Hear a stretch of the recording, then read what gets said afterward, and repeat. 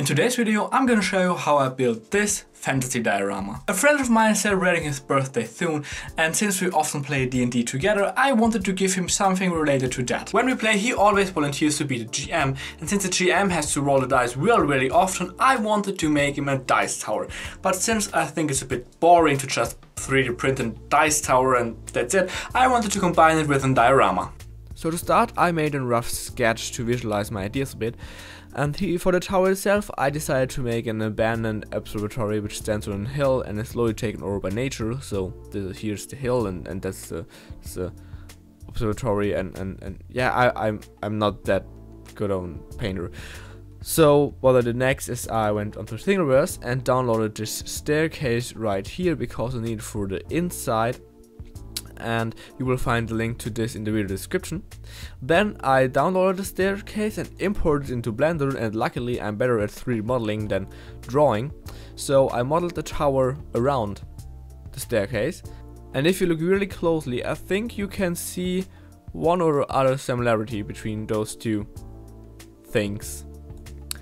However, I decided to make two windows, one here and one here then I made a little entrance and behind the entrance there's this little wall so when the dice rolls down the staircase it bumps against the wall and rolls out the entrance. For the dome I decided to leave this open so you can put the dice in and it rolls down the staircase. And to finish the tower I added these two wooden rings that hold the whole structure together. So all in all, I'm pretty happy how the 3D model turned out. That means I just have to print it. So here I got the printed washed in cured tower. I made this on my Anycubic Photon Mono. And I also printed a little base on my Anycubic Predator to put the tower on.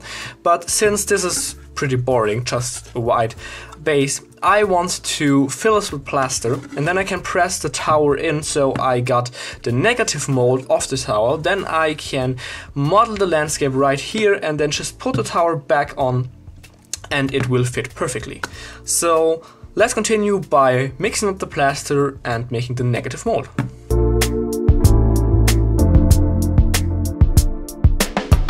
So the plaster is dried now and I can remove the tower.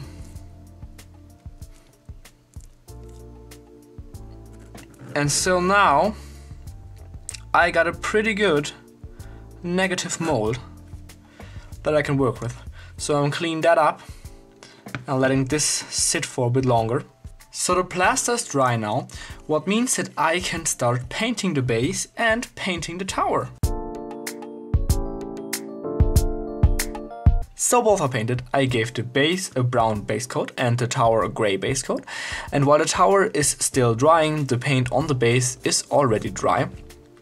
So I want to continue by highlighting the base a bit. I don't know if you're able to see it through the grass, but if so, I think it will look pretty cool. So give it a shot and let's go. For the highlights I used some lighter brown and some ochre to better bring out the peaks and valleys. So since the base is painted, dried and highlighted, I'm continuing by adding some grass. Here I used some regular grass flocking, it's meant for summer meadows but it's my favorite grass so that's why I use it in almost every diorama. For the small path through the entrance I used some of my own mixture, it's made out of different flockings, gravels and dirt and I think it gives the stone a really natural appearance. So now the tower is dry, that means I can continue by giving it a really dark gray wash so that you can see the detail better and it doesn't look that flat.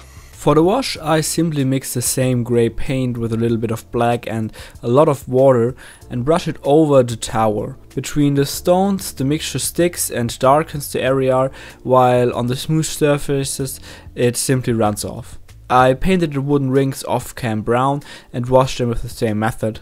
To highlight them, I protected the surrounding stones with masking tape, but to avoid damaging the paint, I used the tape with the sticky side facing out. To highlight the wood, I used some ochre. Last but not least, I greened the tower's lowest set of stones with the same flocking since the tower has been standing in the nature for many decades and so the earth is slowly taking back what once belonged to her. So the tower is done so far, that means I can continue by making the roof. For the dome I took a metallic night blue. Originally I wanted to use a green but unfortunately this was sold out at my local craft store which is why I decided for the blue and in the end I think it was a good decision because the blue fits the theme really really well. For the telescope I have decided on a metallic black anthracite and painted the lens silver. The struts of the dome I finished with some copper paint, which gives the whole thing a certain steampunk look, and the rings of the telescope I painted with a gold metallic paint. So the tower is done. That means I can glue it to the base and add a bit more grass and vegetation here and there. And with that, I should be finished. After I glued the tower to the base, I covered the gap with some glue and more grass flocking to create a seamless transition between the meadow and the tower. I planted some small bushes here and there and finished the whole thing with a little red flower. And by that, my little dice tower diorama is done.